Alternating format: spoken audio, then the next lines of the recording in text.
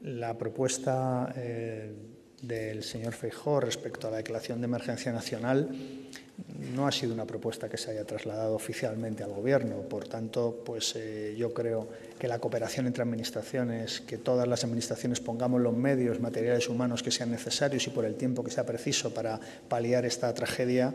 creo que es el camino. Es el camino que además aconsejan también los expertos. Respecto a la reunión que he mantenido con el portavoz, con el señor Tellado, con el portavoz del Partido Popular, le tengo que decir que ha habido una predisposición muy positiva del Partido Popular, no solo a aprobar el decreto ley de medidas urgentes que mañana acordaremos en Consejo de Ministros, sino a seguir trabajando y lo vamos a hacer. Los dos grandes partidos vamos a trabajar conjuntamente en nuevas medidas que podamos ir poniendo en marcha en las próximas semanas. Creo que es importante. Agradezco esta buena predisposición y este buen tono en la reunión del Partido Popular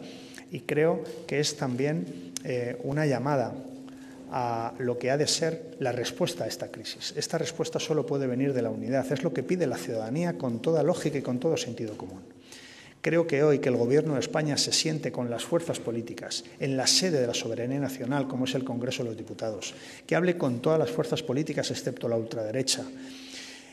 y que hable precisamente para conseguir acuerdos, para, para, mostrar la solidaridad con el Gobierno, para demostrar a los ciudadanos que podemos dentro de las instituciones trabajar y hacer política útil, es lo que nos está pidiendo la ciudadanía. La ciudadanía pide que estemos unidos, que nos dejemos ahora de debates estériles y que demos respuesta a toda esa gente que está sufriendo, sobre todo en Valencia, también en otros lugares de nuestro país. El día que demos respuesta a esta tragedia, podemos hablar de otras cuestiones, pero ahora tenemos que mantenernos unidos para trabajar en esta línea, que solo puede ser la de dar cariño y dar respuesta con medios materiales y humanos a las personas que están sufriendo en Valencia.